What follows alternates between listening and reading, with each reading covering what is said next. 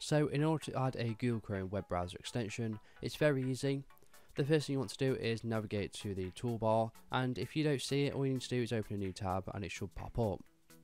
Once you're here, you then want to go ahead and click on the apps icon here and if this isn't visible all you need to do is right click and click on show app shortcut. So we're going to go ahead and click on apps. Once here you then want to click on the web store and it will directly to the Google Chrome web store and you want to make sure that you're selected on extensions. Now you want to go ahead and search the extension you want to install so for example, I'm going to install this Honey application here. Once you're on the installer page, all you need to do is click on add to Chrome, then click on add extension.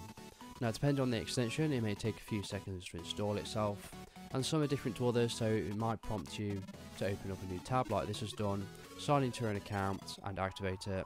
Some of them activate automatically. Now if you are looking to remove Google Chrome extensions, that's also very easy. All you need to do is click on the three dots in the top right, click on more tools and click on extensions.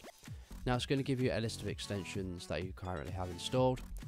So you can either disable them or activate them here, or you can fully remove it by clicking on remove and then clicking on remove again. So if you want to view more Google Chrome tips and tricks, I'll leave a link below to a playlist where you can view them all there.